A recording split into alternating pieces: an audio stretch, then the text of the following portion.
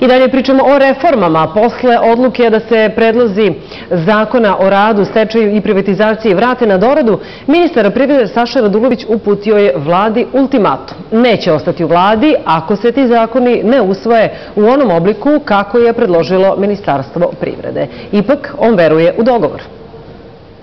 Da li će tri zakona koje je predložilo Ministarstvo privrede pretrpeti izmene, odlučit će vlada, iako je jasno da neslaganja postoje i da ministar Radulović nema podršku ni Ivice Dačića, ni Aleksandra Vučića.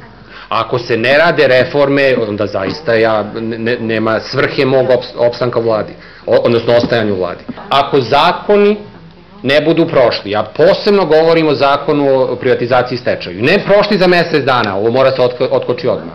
Ja sam to siguran znak da se odustaje od reformi i da se e, verovatno ide na izbore. Prelomna tačka je odluka Dačića i Vučića da formiraju novu radnu grupu koja će učestovati u izradi teksta zakona o radu, o stečaju i privatizaciji, a da se predlozi Ministarstva privrede pošalju na doradu. A iz Unije poslodavaca poručuju da će se boriti za potpuno nov zakon. Većavano da će poslodavci biti apsolutno u novoj, kako je najavljeno, radnoj grupi bit ćemo e, e, jako e, protiv bilo kakvog ostatka iz prethodnog zakona, radit ćemo mnogo više nego što smo ovog puta prihvatili.